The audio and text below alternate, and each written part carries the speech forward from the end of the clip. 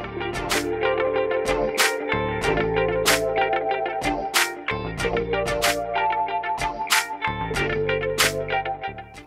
Hey Internet, it's RJ. Welcome back. Thanks for tuning into the show today. Now, today is Sunday, so you know what that means. It's time to go around the net with all the news you can use in the week that was in credit and finance. So, on the docket for today, we have an update to that Barclays story we told you about last week. We have a class action lawsuit against some of the major banks and a potential way you could be a part of it to get some of this payout. We have two stories about American Express and Platinum Card expanding lounges by partnering with other networks. And then stay tuned to the end because we have a shameless plug here about the return of credit card Madness tournament to the channel. Now, that doesn't make any sense. Definitely stay tuned. You won't even have to buy anything for this shameless plug, I promise. So, if that sounds interesting to you, then go ahead, press the subscribe button, and let's get to work. Now, first things first, let's bat lead off with Barclays. So, I'll link to the full show from last week we did on Sunday. Well, but the thing is, Barclays, the Cliff Notes version, anyways, is Barclays was reporting some business cards to personal credit, which normally shouldn't happen. The vast majority of issuers do not report business cards to personal credit, which is different than pulling personal credit to approve you. They will pull it, but they don't report it as an account to your personal credit. This looked like it was happening specifically with like the business Wyndham card, which of course is like one of the good cards people would actually want from Barclays. Well, anyways, the folks who were giving us the data points, I'm talking about a handful of people um, who were saying this was reported to um, personal credit, are now saying this has since been removed. If so, if you go in and you check your personal credit, um, that line item for business Wyndham car should be removed. Um, now, again, we don't really know how widespread it is because the vast majority of people aren't going to do this. Honestly, aren't even going to think about this it's not even necessarily a bad thing unless you're playing this game really hard and you want to use business cards as a way to get around Chase 524 and you just don't want, you know, to burn a hard inquiry with them. But aside from that, it's not necessarily that big of a deal. So it looks like Barclays just messed up. And to that point of the size of people affected, I wouldn't expect to see anything like public statement from Barclays. I haven't seen anything. This is just from Dr. Credit Updates. So we did have a few folks down below who were affected. So if that is you, you might want to just double check, see if it's been removed, and if not, it's probably worth phoning up to Barclays, seeing if you can get that taken a look at. So there's our update for Barclays. With that, we now turn to a class action lawsuit going on in the world of credit and finance, and this is against some of the major players in the industry. So let's take a look at this. So here we have it, what we're calling an ATM class action lawsuit. So who specifically? Chase, Wells Fargo, and Bank of America. What specifically? This lawsuit claims the banks broke federal antitrust laws by using restraints that resulted in inflated ATM surcharge fees. Now, the eligibility here to be a part of this or be, have your claim included starts from October 1st of 2007, goes all the way through November 12th of 2021 if you paid a surcharge directly to Chase, Wells Fargo, or Bank of America to withdraw cash from a bank ATM in the US, then you would count. Now, the amount here, the settlement amount is $67 million. However, that doesn't necessarily mean there's a set amount yet for individuals. I haven't seen a, a figure yet. Now that's largely going to probably depend on who, how many people they actually get to be a part of this. Now you must submit your claim by May 11th of 2022 um, to be a part of this. So overall, I will link down below to the site where you need to go to be a part of this. So what generally happens here, you know, man, these companies, it's not just in banking, but these companies settle, and then you know there's a large amount of money, but you know you still the attorneys have to get their piece, and what especially with this when there's such a wide timeline, you know, long runway from 07 to 21 one, there's a lot of people who could have been affected by this. So what's unfortunately likely going to happen is a lot of people will be included in this, and then the money, the payout's not going to be that substantial, unfortunately. Now, if you remember back to like the Equifax um, one, we, we talked about that I think a week or two ago here, where you know Equifax they were paying out it was like 125 dollars a person, but like once that money ran out, it kind of ran out, and then they would just strongly encourage you to use the go for the free credit monitoring option, or I don't know I don't know what happened if you didn't do either of those. I guess you just got nothing. I think I went for the free credit monitoring option. Um, so again, I'll link it down below. You know, I think if you were part of this, if you were affected, then, you know, might as well join up, you know, if nothing else, just because you're owed that money and they were taking advantage of people and that shouldn't happen. So, you know, why not? But again, I wouldn't have my hopes up to get like a ton of money from this.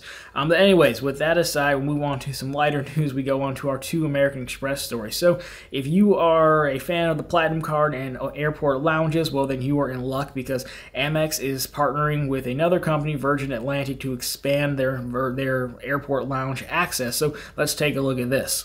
So here we have it, Amex plus Virgin Atlantic. So again, this is going to be platinum and business platinum card holders. That does cover all flavors of the platinum card. I would assume Centurion is also in here.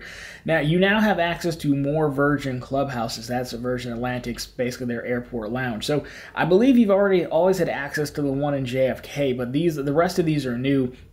So if you're going abroad, you can get in in South Africa, again, New York and JFK. We have Newark, San Francisco, SFO, Washington, D.C., which is IAD, and then Boston, but Boston's just temporarily closed. So some additional details on these lounges if you're interested. On the left, you have the lounge, you have the hours, and then you have the location as well. Now at the bottom here, we also have the entry requirement, so it's nothing crazy. You should be familiar with it. You're going to need your Amex card. You're going to need a confirm confirmed boarding pass for same-day travel, um, a government-issued ID, and then as far as guests go, you can also bring one guest plus children under two can enter free of charge. However, there is a caveat here the guest policy is changing for these in 2023, so just something to be aware of. Now, overall, my understanding is that Virgin Clubhouses are pretty nice lounges.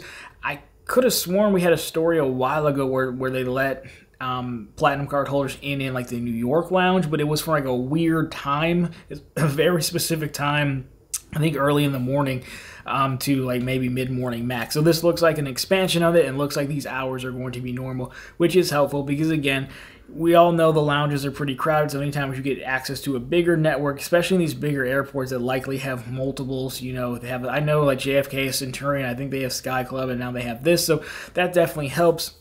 But if you don't go to bigger airports, well, don't worry, you're in luck because there's also something that I was not aware of called Centurion Studios that are basically like baby um, Centurion lounges in smaller airports. So let's take a look at this. So here we have it, Centurion Studio. So this is an American Express plus Escape Lounge partnership. So this is kind of built as a smaller spaces with quality food and beverage. So currently there are 12 studios and 10 smaller airports. So you have Hartford, Connecticut, Minneapolis, which is not a small airport, Minneapolis. Um, Phoenix, Reno, Cincinnati, Oakland, Sacramento, Greenville, Spartanburg, West Palm Beach, Providence, and then Fort Lauderdale is the one that's coming soon. Now, access, you can get in with a Platinum or a Centurion card. Again, that should be all flavors of Platinum. However, it's a little bit less exclusive because you could also pay $45 at the door or $40 in advance online for a day pass. So again, the, the, news there is that Fort Lauderdale's opening, but I'll be honest with you, I did not know they have these smaller baby Centurion lounges um, before. I've never actually been to one. I don't think I've seen one, but I don't know if I've been to any of these smaller airports either. Now again, it's partnered with Escape Lounges who run you know their own lounges, so it's not super surprising that you can get in you know for paying money. Um, I don't know. I, you would think the Priority Pass might get you in, but I don't know if Escape is a part of the Priority Pass network. So if you've been to one of these and you've seen it, let definitely let me know. I'm interested what a smaller baby Centurion lounge looks like. But with that, we now move to the shameless plug of the show. So, you know, if you're new here, um, you might not remember, but about a year ago in March, the channel ran the first ever, what I'm calling the first ever Credit Card Madness tournament. This basically pitted 16 of the finest credit cards in the world against one another in a single elimination winner take all battle decided by you, the viewers at home. We just basically get votes in through Google Forms, and then you know the winners would move on. Very simple. Um, last year, the Platinum card reigned supreme. It was actually a drag out street fight between the Wells Fargo Propel and the Amex Platinum card. Platinum card won just a little bit, but that was the old Platinum card on the $550 annual fee. So, long story short, the tournament is coming back. We play it every March. Well, this is technically be the second time we're going to play but we're going to play it every March. It's a lot of fun. It's kind of just a break, something different to do, you know. I think with like-minded people can have fun playing a little bit of game for the month of March. And you know, the first quarter is generally slow anyways with news and updates and things, so it's a perfect time to play it. It's definitely a spin or a parry on the March Madness from the NCAA tournament. So look, I say all this to say, hey, um, be aware of it. Monday is when we are going to talk about it. I will have a full video announcing it. I've definitely retooled it so if you missed out last time, if you weren't a subscriber then, you are now or you want to be, go ahead, take care of that. Again, full details come Monday. It should be a lot of fun, so tell your friends, get excited for it because it's going to be back and we're going to see if uh, the Platinum card can defend its title again even at this inflated $700 price tag or does it get dethroned by a newcomer? Do we have a wild card? We never really know and the great thing is actually up to you, although I do vote as well, but only one time. So anyways, guys, that's been our news plus the shameless plug. If you like this one, drop me a thumbs up down down below if you're not particularly interested or if you're just hyped for the tournament. Consider subscribing to the channel. Again, posting content just like this every Monday, Wednesday, and Friday. Of course, right back here every Sunday with all the news you can use in the week that was in credit and finance. My question for you guys is let me know what news stories you've seen below as well as your thoughts on the Centurion Studios. Am I the only one who didn't know this was a thing? That would probably make me not good at my job. I feel like I should probably know these things. But anyways, let me know what you've got going on, what you've been seeing, or let me know what you think about the credit card tournament. Who do you think's going to win? Again, tune in Monday for that. But anyways, guys, that's going to do it for this one. As always, thank you so much for watching. I'll talk to you on Monday.